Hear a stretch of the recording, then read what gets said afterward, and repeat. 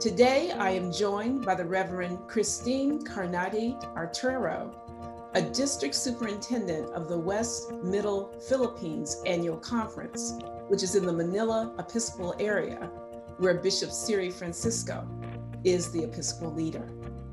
Good evening, Cristine. I realize it's morning here in the US, but in the Philippines, it's it's evening. Good evening, um, Kennetha. So good to have you with us. Thank you for this opportunity.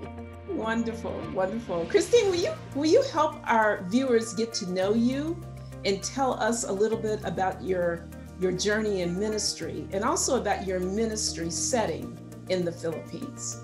I entered the ministry when I was 18 years old.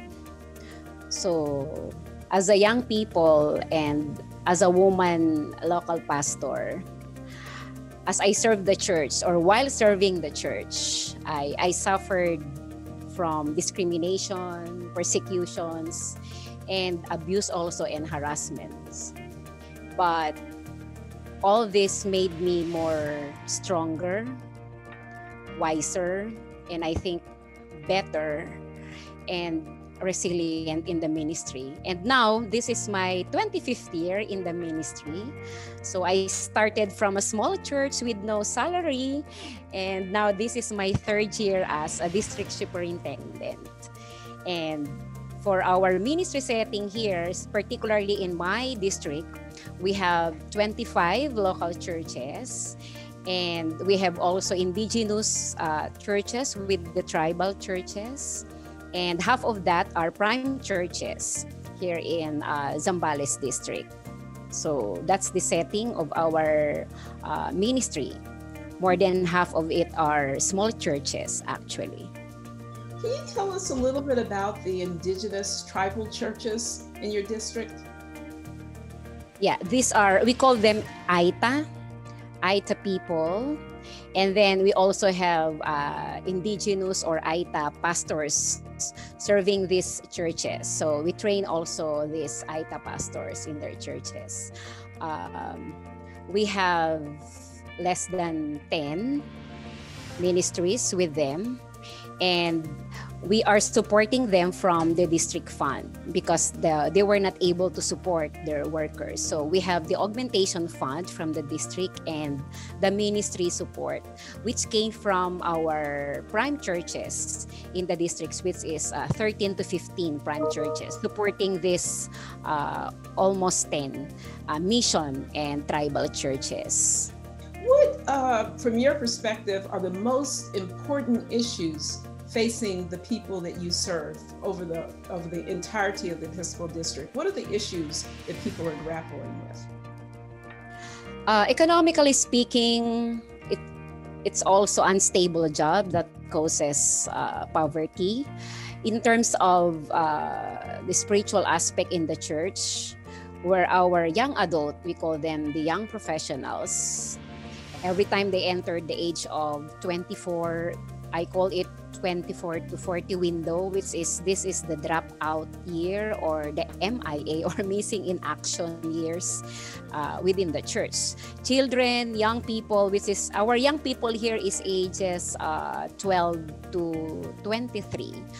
But when they reach the age of 24 up to 40, uh, some are leaving the church because of their jobs, uh, of their opportunities outside the church, they, they work abroad. And because there are many overseas Filipino workers, we also suffer from uh, children or young people who's we have we have many problems with mental health, uh, depression among uh, young people because of you know uh, the the parenting uh, ministries. That's why we are trying to establish the OFW ministry, Overseas Filipino Worker Ministries in the church. That's, uh, I think, one of the greatest challenges that we have right now.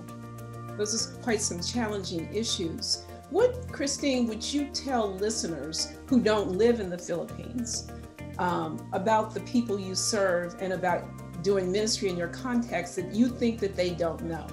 What would you tell us for those who aren't there uh, about your ministry and the people that you serve that you think that we don't know? I am strongly convinced that our churches here in the Philippines are full of hope. Why? Because we have many young people.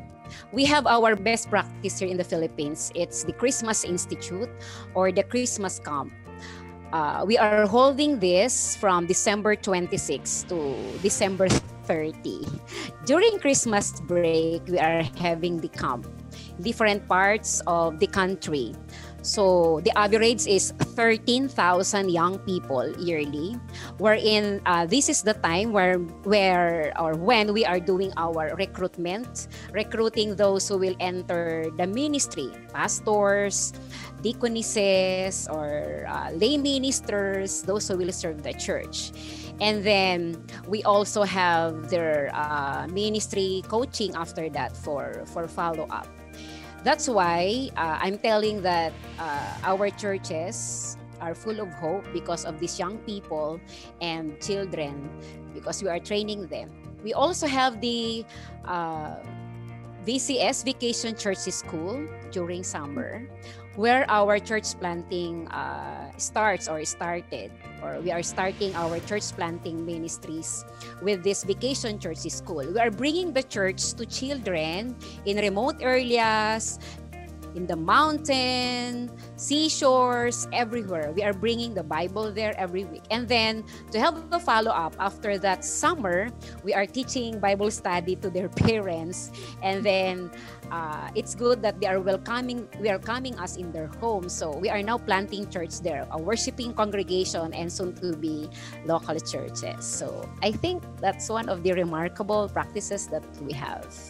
That is a remarkable practice to use uh, VBS, uh, Vacation School, yes. as a way to plant churches. That's wonderful.